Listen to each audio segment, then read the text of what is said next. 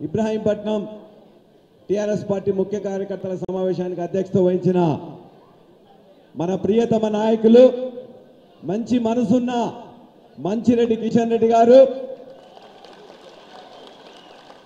మనకు ముఖ్య అతిథిగా వచ్చిన ప్రపంచంలోనే అత్యంత యంగ్ అండ్ డైనమిక్ పొలిటీషియన్గా పేరుగాంచి అనేక దేశాల నుంచి వెళ్ళి ఆహ్వానాలు అందుకుంటున్న మన ఆనిముత్యం కేటీ రామారావు గారు డాక్టర్ల జేఏసీ ద్వారా తెలంగాణ ఉద్యమంలో కీలక పాత్ర వహించి మన పార్లమెంట్ సభ్యులుగా ఉన్న డాక్టర్ బూర నరసయ్య గౌడ్ గారు జిల్లా అధ్యక్షులు నాగేందర్ గౌడ్ గారు వేదిక మీద ఉన్న పెద్ద మనందరి ఎంపీపీలు జెడ్పీటీసీలు నాయకులు వేదిక ముందు ఆసీనులైన ఇబ్రాహీంపట్నం టిఆర్ఎస్ పార్టీ నా అక్క చెల్లెళ్ళకు అన్నదమ్ములందరికీ కూడా గులాబీ వందనాలు. నాకు ఒక్కటే నిమిషంలో మాట్లాడమని అన్న చెప్పిండ్రు. మొట్టమొదటిసారి ఇబ్రాహీంపట్నంలో టిఆర్ఎస్ పార్టీ నల్లగొండ జిల్లా నాగార్జున సాగర్లో రాజకీయ తరగతులు చేసుకొని మొట్టమొదటిసారి అన్నను వచ్చి ఇదే నాగా ఇదే ఇబ్రాహీంపట్నంలో ఇవాళ గులాబీ కండువా ఆ రోజున వేయడం జరిగింది అన్నకి. ఆనాటి నుండి ఈనాటి వరకు కూడా ఇబ్రాహీంపట్నంలో ఉన్న ఈ టిఆర్ఎస్ పార్టీ చాలా అందరికంటే వేగంగా ముందుకు పోతున్నది. నిన్నగాక మొన్న కేసీఆర్ గారు ఒక అద్భుతమైన అవకాశం ఇచ్చింది మనకి. ప్రపంచంలోనే అత్యంత పెద్ద సభని ఇబ్రాహీంపట్నం నియోజకవర్గం కొంగర కళాల్లో పెట్టుకున్నాం. మీ అందరితోని కేటీఆర్ గారు కానీ మిగతా ఇక్కడ ఉన్న వాళ్ళందరితో కూడా పదిహేను రోజులు రాత్రి పగలు లేకుండా మీ అందరి కృషితో ఒక అద్భుతమైన సభని ఇక్కడ పెట్టుకున్నాం. ఇవాళ కూడా ఒక రెండు విషయాలు నేను చెప్పదలుచుకున్నా. ఇవాళ యువకుల గురించి అనేక విషయాలు ఎందుకంటే యువ యువజన నాయకుడు ఇక్కడికి వచ్చిండు కాబట్టి యువ మంత్రి గారు ఇక్కడ ఉన్నారు కాబట్టి గత పది సంవత్సరాల్లో కాంగ్రెస్ కానీ తెలుగుదేశం కానీ పదివేల ఉద్యోగాలు మన యువతకి ఇవ్వలే.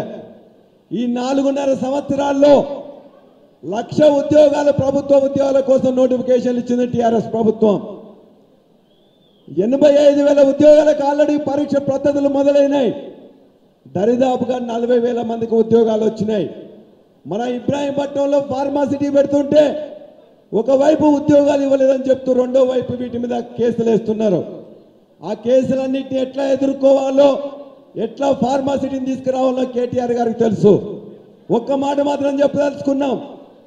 ఇంతకుముందు చంద్రబాబు కానీ కాంగ్రెస్ కుట్రల్ని కానీ ఎదుర్కొనే తీరులు లేకుండే. కానీ ఇలా మన కేసీఆర్ ఉన్నాడు. ఇవాళ ఇక్కడ ఉన్న ఎమ్మెల్యేలను కొందామని చెప్పి ప్రయత్నం చేస్తే వాళ్ళందరికీ కేసీఆర్ తన తెలివితో ఒకరిని జైలుకు పంపిస్తే ఇంకోని అమరావతి వరకు ఇలా మనం కొట్ట చేసినాం. అందుకే రేపు మీరందరం కూడా మనందరికీ ప్రగతి నివేదన సభ యొక్క స్ఫూర్తి ఉన్నది. కేసీఆర్ గారి యొక్క ఆశీర్వాదం ఉన్నది. కేటీఆర్ గారి యొక్క అండదండలు ఉన్నాయి. మనందరం కలిసి ఒకటే చేయాలి ఇవాళ.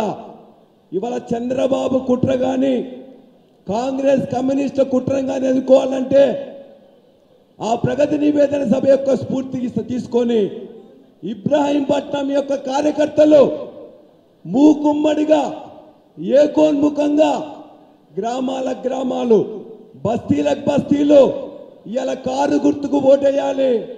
ప్రపంచంలో అత్యంత పెద్ద సభ ఎట్లయితే మనం పెట్టినమో ఈ తెలంగాణలో ఉన్న నూట పంతొమ్మిది నియోజకవర్గాల్లో ఇబ్రాహీంపట్నం నియోజకవర్గంలో అత్యంత మెజార్టీ మీరు ఇవ్వాలని చెప్పేసి మనం మంచి మనసున్న నాయకుడిని మంచిరెడ్డి కిషన్ రెడ్డికి అన్న కొంగర కళాన్ సభ ఎట్లయితే చేసినామో ఇవాళ ఇబ్రాహీంపట్నం నియోజకవర్గంలో మెజార్టీ కూడా అదే విధంగా ఇస్తామని దానికి బదులుగా అదేవిధంగా పద్దెనిమిది వందల కోట్లు కాదు ఎన్ని కోట్లైనా ఈ ప్రాంతంలో ఉన్న యువజనులందరికీ ఉద్యోగాలు వచ్చే విధంగా ఫార్మాసిటీ తేవడం కేటీఆర్ గారు వంతు.